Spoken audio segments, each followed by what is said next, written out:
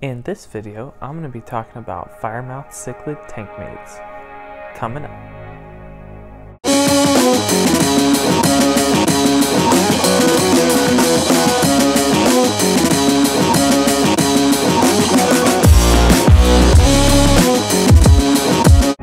Hey, what's up? It's Ty here, and welcome to my channel, Aquariums with Ty. And on this channel, I do a lot of fish videos as well as aquarium product reviews. So if you're new here, consider subscribing. At any point in the video, check out the description below. I always post links to products I talk about, as well as notes of anything I forgot.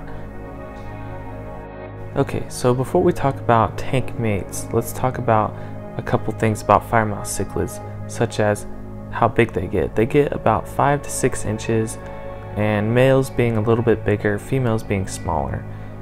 So that being said, you have to make sure you have a big enough tank for them. I would start off with about 30 gallons minimum, but 40 gallons is probably a lot more ideal and the fish will be a lot more comfortable in that size tank.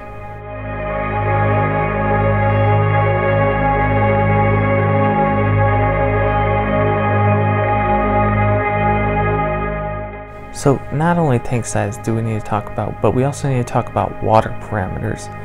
You want to make sure you keep your water at about 7.0 in the neutral zone is a good idea to do. Uh, Firemouth cichlids are super adaptive to aquarium life and I actually keep these in about 8.0 and they're doing just fine. Consistency is the most important thing when it comes to water parameters, always having it at the same level so the fish don't have to constantly be adjusting. Now I bring up water parameters because you want to keep you always want to keep fish that like similar water parameters.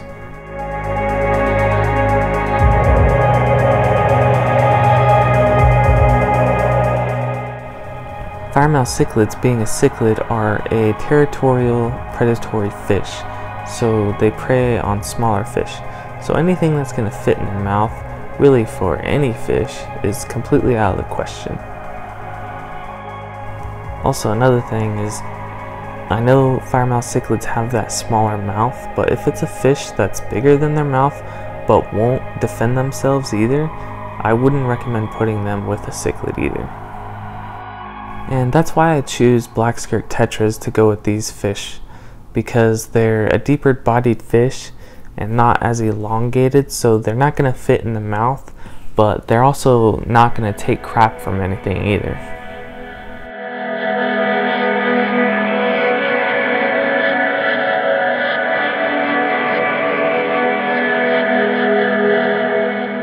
When it comes to cichlid tank mates, you want to make sure that you get cichlids that have similar temperament and aren't gonna bully the firemouth cichlid.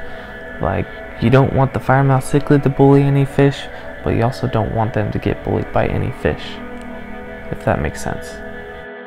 And having the right amount of space and hides for the cichlids is super important for having a cichlid setup because you want them to be able to break line of sight from each other.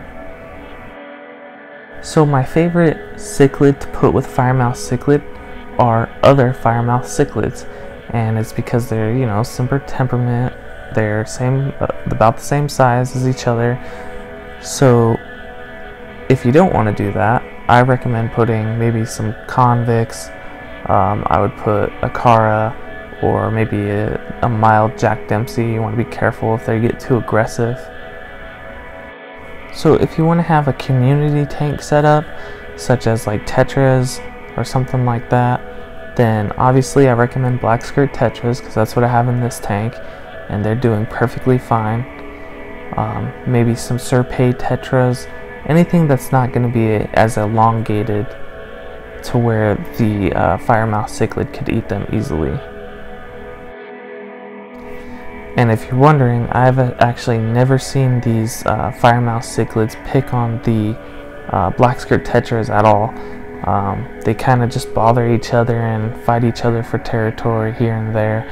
But the black skirt tetras are kind of just the the innocent bystanders that are just just living life.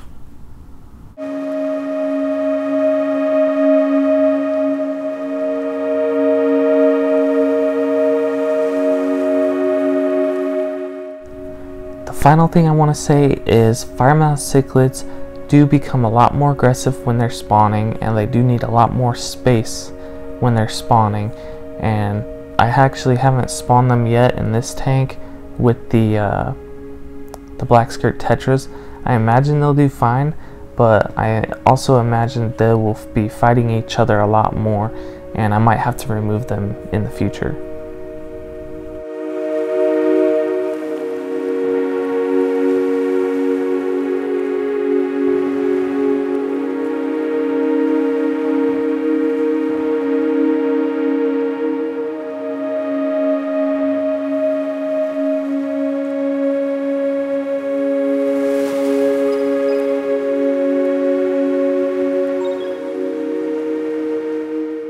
Anyways guys, thanks for checking out my channel and thanks for watching this video.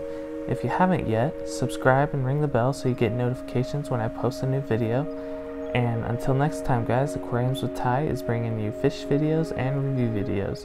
And I'll see you guys on the next one.